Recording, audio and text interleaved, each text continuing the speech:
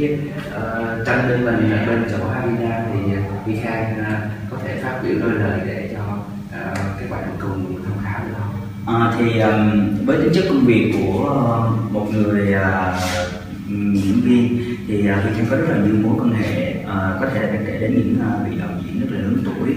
Và mình nghĩ là với cái thời buổi hiện tại thì một cái bức tranh một bức tranh theo rất là đơn giản như thế này. Nhưng mà được sự tỉ mỉ cũng như là làm hoàn toàn bằng thủ công của các nghệ nhân theo thì đây sẽ là một món quà rất là ý nghĩa. À, và thực sự là trước khi mà Hi Khang đến với tranh cho tay Huế thì à, uh, Hi Khang có từng xem qua mình mua những cái sản phẩm khác ở những nơi khác. Nhưng mà thực sự là khi mà đến đây rồi á, thì uh, Hi Khang cảm nhận một điều đó là um, về những cái sản phẩm của mình á, thì uh, thứ nhất là nó có một cái hồn nhất định.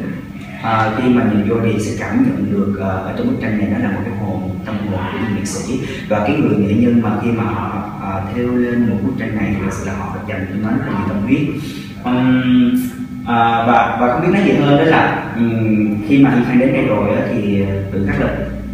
biết ơn mình sẽ có rất là nhiều sự lựa chọn. À, và thực sự là nếu như mà bạn đang tìm kiếm một món quà dành cho người thân của mình thì khang nghĩ là các bạn hãy đến với tranh thơ trai huế để mà tìm kiếm cho mình một món quà ưng ý